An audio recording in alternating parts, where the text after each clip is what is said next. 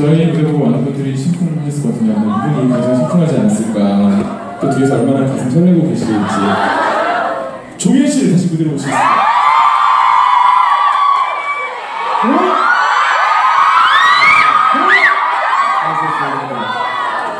아, 멋있어요. 옷가람들 못 봤잖아요 아니, 다, 다 왔어요. 진짜요? 옷 뒤에서 다 갈아입은 거 좋았어요.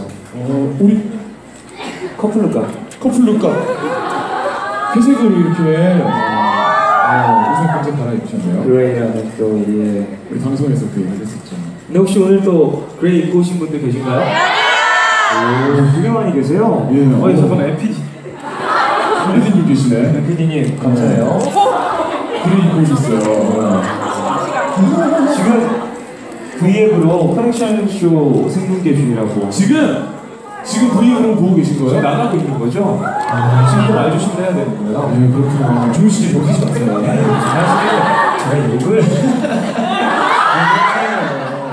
아 저는 V 되게 즐겨보고. 거기만 이렇게 종현 씨 덕분에 처음으로 나와보는 아유. 네. 거기는 셀럽만 할 수 있는 거예요 나 같은 사람 못하고 아니 소란의 고영배 씨 그리고 소란도 지금 나오는 거 아니겠습니까 지금? 그렇죠. 많이 참여해 주시고 그거 하트를 참여 계속 누를 수 있더라고요. 네. 그럼 무슨 게임 하듯이 계속 많이 눌러주세요. 내가 종현 씨 처음 콘서트 했던 2천 개 쌌잖아 네.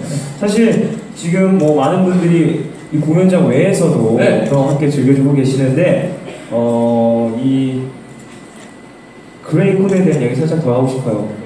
어, 지금 자, 다시 한 번만 실제로 저희 방송에서 얘기를 하는 걸 듣고 회색 옷을 맞춰서 입고 분선 어. 오 진짜 회색 옷은 진짜 위험하다 자신 있게 드셨는데 오, 그리고 그날 예, 저를 제외한 네 분, 네, 세 분이었죠? 예. 그분들 모두 속옷이 아, 신기하게도 회색 속옷을 입- 근데 그날 결국 종현 씨는 저요? 밝히지 않았는데 저 까만색밖에 안 입어요. 네. 어, 오늘 좋은 것도 알아가네요 네, 예, 예. 저는 취향이 까만색입니다. 네, 별걸 다 얘기하네요. V앱에서 종현 씨 색깔에 대해서 알아봤습니다 그래요. 이 드레스 코드 gray 지켜주신 분들 너무 감사하고요. 네. 어, 사실 이 connection 쇼를 진행하면서 제가 영병한테 처음 이렇게 작업하자고 어거를 했을 때 형 저랑 곡 하나 같이 쓰시죠 이렇게 얘기했더니 네. 정말 몇 초의 망설임도 없이 그래 나 잘 써. 얼마나 또 자신감이 넘치는 모습일까요? 어, 근데 진짜로 저는 사실 태어난 척 하느라고 그렇게 보낸 거고 이 방송이라는 얘기를 전혀 안 하고 저한테 문자를 보낸 거였어요. 맞아요. 그뭐 녹화 중은 아니었지만 실제로 저랑 같이 하겠다고 마음을 먹고서 그냥 아무 설명도 없이 그냥 다짜고짜 문자를 보낸 거였는데 저는 진짜 사실 기분이 너무 좋고 설레었었죠. 그렇게 빨리 작업을 하게 될 줄 상상도 못했죠. 그니까요. 형 저랑 곡 하나 쓰시죠? 그러니까 3일 후에 갑자기 곡의 컨셉은 이런데 너 어때? 바로 만났어요. 빠르게 작업을 하게 됐죠. 그게 또 열심히 둘 다 작업을 진행한 곡이라고 생각을 하고 그래서 벌써 그 결과물이 사실은 나왔어요. 나와 있어요. 저희도 오늘 최종 음원을 확인을 했고 마스터링 된 것을 그 음원은 언제죠? 이제 수요일에서 목요일 넘어간 12시 맞죠? 그러니까 내일 내일 라이브 커넥션 본방이 11시 하니까 네. 그 방송이 끝나면 음원이 나와 있는 거예요. 노래 제목도 기가 막히잖아요 사실 정현 씨가 지었어요. 노래 제목 뭐, 뭐죠? 가을이긴 한가 봐이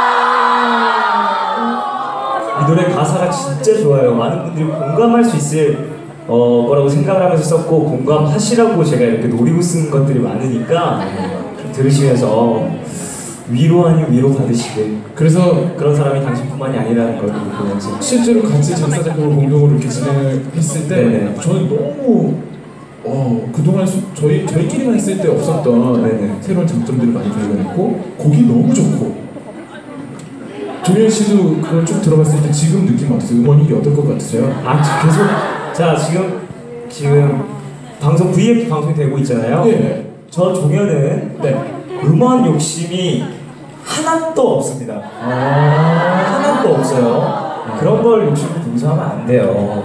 아 그럼 지금이라도 저거 치웠으면 좋겠어요. 아, 그래도 한번 내기로 한번 냅시다.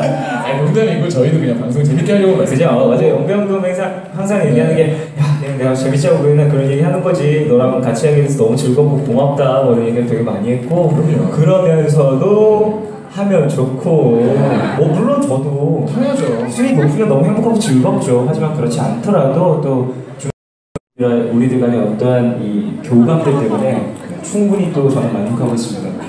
저도 과정이 너무 즐거웠어서 어, V앱이다. V앱이다. 아유 V앱 V앱 시작. 박수! 아, 여러분 지금 V앱에 우리 되게 인기 없어 보일 수 있거든요. 보내주시고 있으시면 박수! 야 V앱 정말 우리 자주 만나요 저 V앱을 그렇게 몇 번째인지. 어 V앱 반가워요. 어, 저 그냥 핸드폰으로 하는구나 V앱도. 어, 아니 저 휴대폰 할 때도 있고 뭐 카메라를 찍을 때도 있고 뭐 그렇더라고요. 네. 어쨌든 V앱을 통해서 그래서 내일 발매되는 가을이긴 한가 봐를 맛보기로 1절 정도까지만 1분 정도만 네, 조금만 들려드리려고 합니다. 네, 음원 욕심은 전혀 없는 바로 그 노래.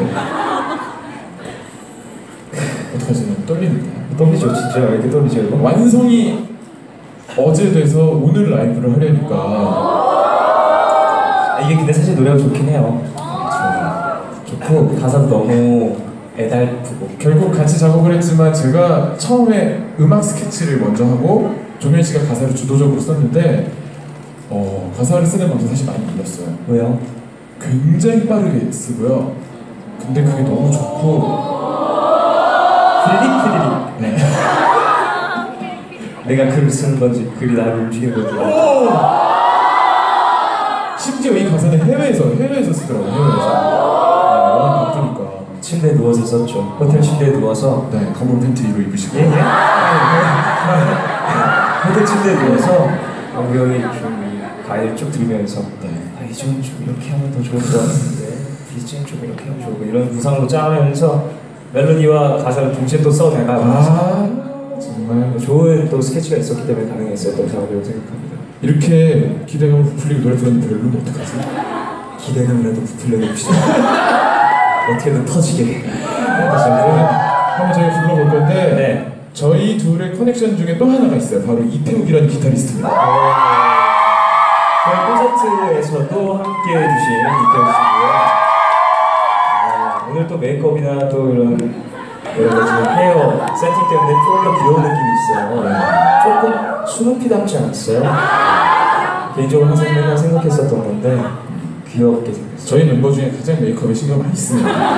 음, 화장 잘 안 되면 무대 안 올라가고 아 정말 오늘 마음에 드셨는지 네, 다행입니다.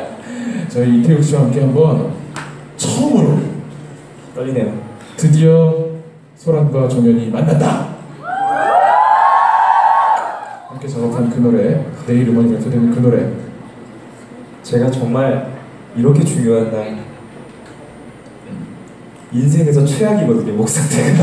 아, 근데 사실 가수들은 웬만하면 그 얘기를 안 해요 좀 안 좋아 정말 안 하려고 하는데. 네 오늘은 정말 안 좋더라고요. 아, 가, 리허설 때 형이 깜짝 놀랐어요. 네. 내가 아는 종현이가 맞냐며. 사실은 뒤에서 호줄이 한대 때렸거든요 똑바로. 노래 제대로 부르라고. 네, 농담이고 콘서트 끝난 지가 네. 그저께 끝났기 때문에 장기 공연을 목 상태가 안 좋다라는 거를 감안해 주시고 저는 그거에 전혀 상관없이 제 페이스대로 한번 그러겠죠. 나라도 잘 그래서 걱정인 거예요. 목이 좋더라고 오늘 영배 형이 아주. 날아다니더라고. 어 태어나서 이렇게 좋은 적이 처음이에요 저는. 날이더라고 날이에요. 어쨌든 한번 잘 열심히 잘해봅시다. 불러보겠습니다. 가을이긴